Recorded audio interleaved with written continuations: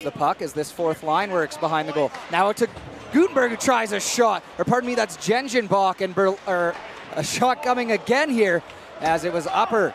And the Golden Bears will just chip it out.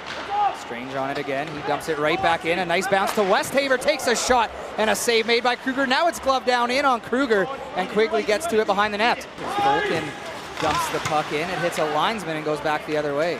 Now Plouffe runs into a ref. Possible break here. Pass off Gutenberg. Big save from Kruger. Another opportunity, and that one just wide of the blocker.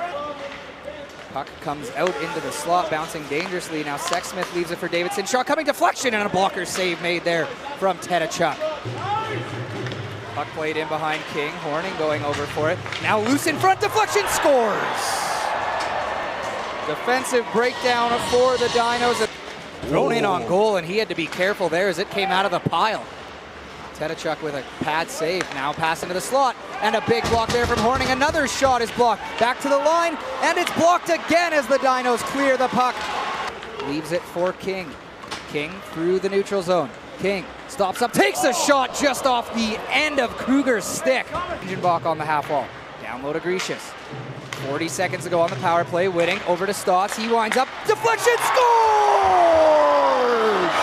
Riley Stotts to Jaden Joseph, and we have a 1-1 hockey game with 17-24 to go in the second. Back to the line for King. King stops up, looks for a lane, and I think it may have just got a blocker on it off the post there from Joseph, looking for his second in about a minute.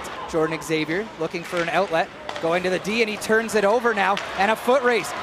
Ladigan in on goal. Ladigan goes the backhand, saved by Tedachuk.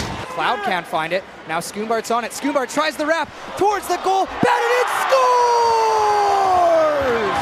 Max Patterson out of midair makes it 2 to 1 with 9.01 remaining in the second period. The corner he goes with it. And now King tries to clear the puck.